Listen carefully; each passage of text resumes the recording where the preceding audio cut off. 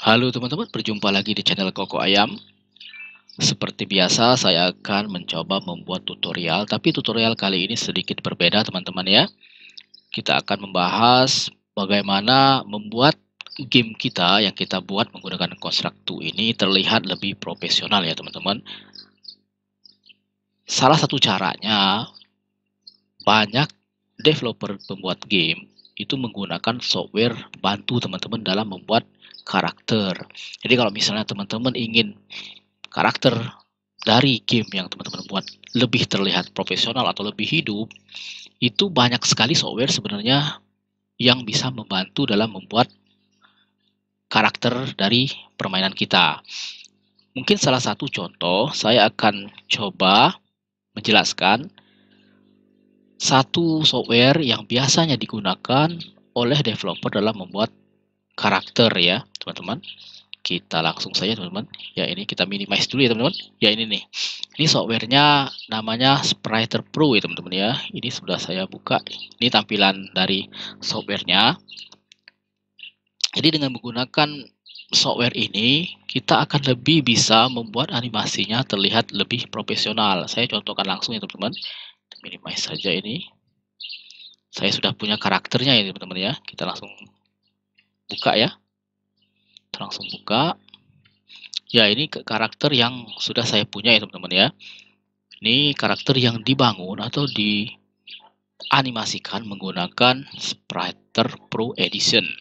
Jadi animasi ini ini sudah banyak animasinya teman-teman yang sudah dimasukkan ke dalam karakter ini.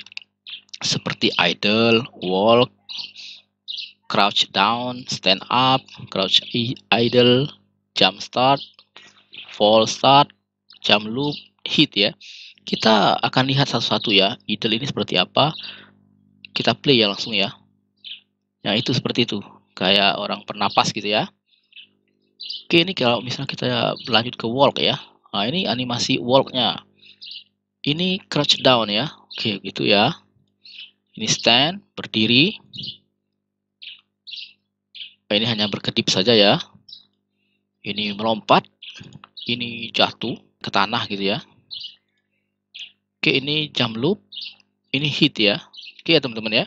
Jadi dari dari dari dari karakter-karakter ini yang sudah mempunyai animasi ini, kita bisa langsung kita kita masukkan ke dalam software Construct 2 ya. Caranya bagaimana? Kita close dulu ya teman-teman ya. Close dulu teman-teman. Kita buka uh, construct kita ya langsung new oke sudah jendela baru. Nah sebelum teman-teman bisa mengimport player ini silakan teman-teman harus memasukkan plugin plugin untuk HTML ini ke dalam construct sehingga nanti ketika teman-teman klik kanan insert new object itu ada di bagian general itu ada HTML teman-teman. Yang logonya sama dengan Spriter Pro tadi ya cara memasukkan plugin ini sebenarnya mudah saja teman-teman ya. Jadi teman-teman arahkan arahkan di C biasanya teman-teman uh, install software konstruktunya terus cari konstruktu terus di bagian exporter diklik HTML5 masuk. Nah kita kan akan menambahkan plugin. Jadi kalau misalnya teman-teman ingin menambahkan behavior baru teman-teman klik di sini dan paste di sini.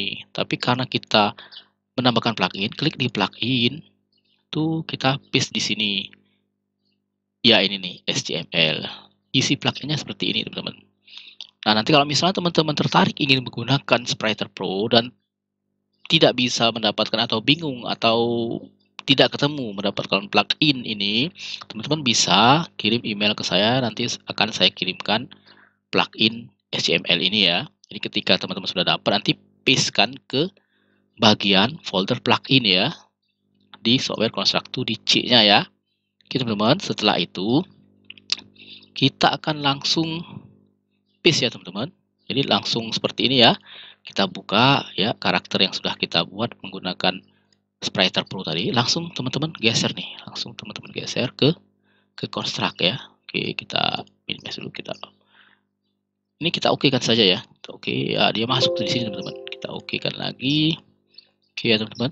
Oke ya teman-teman. Nah ketika teman-teman sudah berada di jendela konstruktu sekarang posisi seperti ini kalau misalnya teman-teman play ini dia sudah ada animasinya animasi idle ya. Nah gitu teman-teman. Jadi ketika teman-teman membuat game dengan animasi seperti ini kemungkinan besar terlihat lebih profesional dibandingkan kita membuat game yang karakternya tidak terlalu seperti kelihatan hidup ya teman-teman. Kalau ini kan seperti kelihatan benar-benar hidup nih, matanya berkedip, terus eh, tangannya bergoyang seperti bernapas gitu teman-teman. Nah, bagaimana cara memunculkan atau memainkan animasi-animasi yang terdapat di dalam karakter kita ini? Tadi kan kita banyak nih karakter yang sudah tersimpan di sini berjalan segala macam. Tinggal teman-teman mainkan di event seed gitu ya kita tambahkan dulu teman-teman sebagai objek ya. Sarana memainkan insert new object. Mungkin saya akan tambahkan mouse saja ya. Mouse insert. Sudah ditambahkan mouse ya. Di sini ya sudah tambah mouse ya. Oke mouse sudah masuk. Kita tambahkan event seed jadi ketika mouse misalkan ya ini contoh saja. Uh, kita on any click ya. On any click maka player player set animasinya, set animasi. Animasi yang sudah ada di kelompok karakter kita ya teman-teman. Dan tulisannya nama ini harus sama nih. Kalau misalnya animasi ini walk kita harus tuliskan walk juga. Huruf besar huruf kecil harus sama ya. Kita down ya. Kita coba lagi ya teman-teman. Kita lihat ya apakah berjalan ya. Dia memainkan animasi ideal tapi ketika kita klik dia memainkan animasi berjalan yang sudah ada di karakter kita teman-teman. Jadi kalau misalnya teman-teman tertarik untuk membuat game yang terlihat lebih profesional bisa memanfaatkan Spriter Pro ya teman-teman. Oke sampai di sini dulu tutorial singkat ini teman-teman. Selamat belajar dan salam developer. Terima kasih sudah menonton video ini.